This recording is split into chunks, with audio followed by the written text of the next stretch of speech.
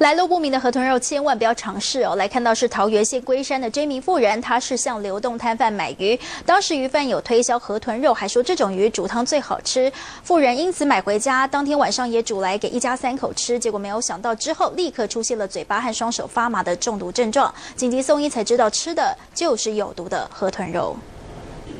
滚烫的日式火锅，再穿烫一片片透彻的河豚肉，冬天里来上这一锅，真的让人暖乎乎。但美味香甜的河豚肉因为有毒，可是要经过专业厨师处理过才可以下肚。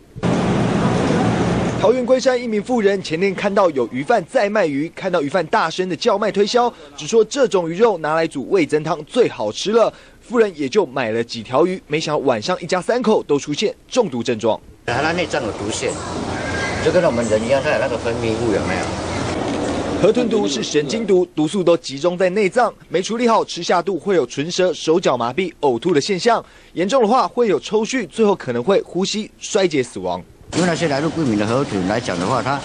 第一个有有没有新鲜，我们也不晓得。那这一方面，如果说我们要真的要吃河豚的话，我们就是要去找一些比较专门的海鲜摊。